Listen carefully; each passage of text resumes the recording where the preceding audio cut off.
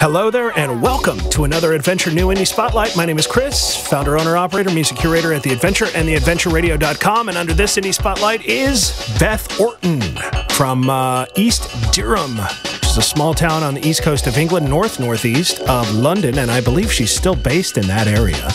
Uh, and everybody heard her first on a song she did with William Orbit called Water from a Vine Leaf from 1993.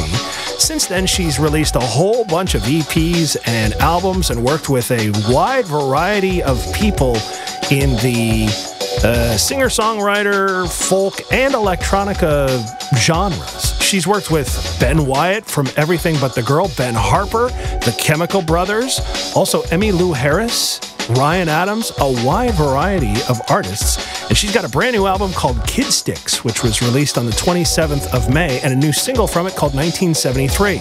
She's already released a video for it and had to take it down because in the video, she spray paints a federally protected Joshua tree, one of those cross between a tree and a cactus that only dr- grows in California. Well, apparently she was spray painting it.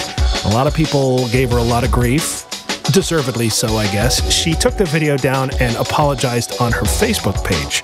But in the brouhaha, I'm afraid that this great song is getting overlooked. So here we go with 1973. This is Beth Orton. It's under the new Indie Spotlight.